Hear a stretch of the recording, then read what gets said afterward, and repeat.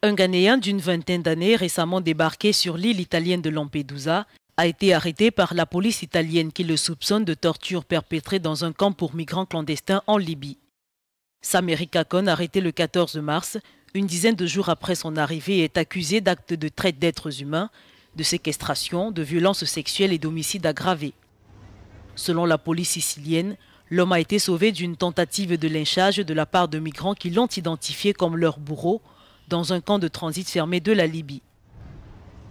Six ans après la chute de Muammar Kadhafi, le pays, déchiré par les luttes de pouvoir et les violences, est devenu un carrefour de l'immigration clandestine de l'Italie vers l'Europe.